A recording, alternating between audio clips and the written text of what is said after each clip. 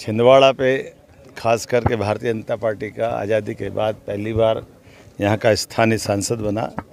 मैं पूरे छिंदवाड़ा वासियों को बधाई देना चाहूँगा, मध्य प्रदेश की जनता को बधाई देना चाहूँगा, जिन्होंने यशस्वी प्रधानमंत्री के लिए 29 की 29 लोकसभा सीट दी, जिसमें छिंदवाड़ा भी लाखों में है।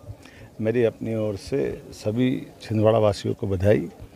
इस अवसर पर हमारे सांसद श्री बंटी भाई और हमारे पूरे पदाधिकारी यहाँ से शेषनारायण यादव जी से लगा करके हमारे सारे पदाधिकारी।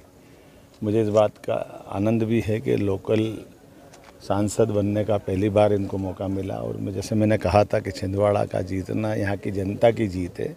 यशस्वी प्रधानमंत्री का मध्य प्रदेश से प्रेम है कि एक नया रिकॉर्ड बना है। मेरी अपनी ओर से पुनः माननीय प्रधानमंत्री जी को आपके माध्यम से बधाई और छिंदवाड़ा वालों का आभार।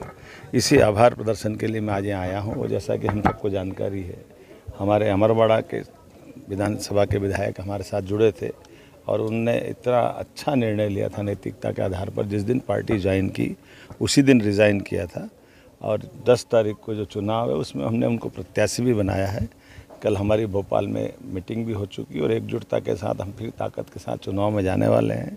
और जैसे कि छिंदवाड़ा ने तय कर लिया कि वो भाजपा में बनेगा, इसलिए मुझे दिखाई दे रहा है कि भाजपा प्रचंड बहुमत से अमरवाड़ा चुनाव भी जीतेगी और इस अवसर पर विकास के नए रास्ते खुलेगी।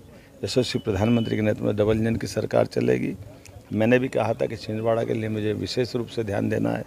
और आने वाले समय में छिंदवाड़ा और छिंदवाड़ा की जनता के विकास के सपनों को पूरा करने के लिए हम कृत संकल्पित हैं। पूरी ताकत के साथ आगे आगे बढ़ेंगे।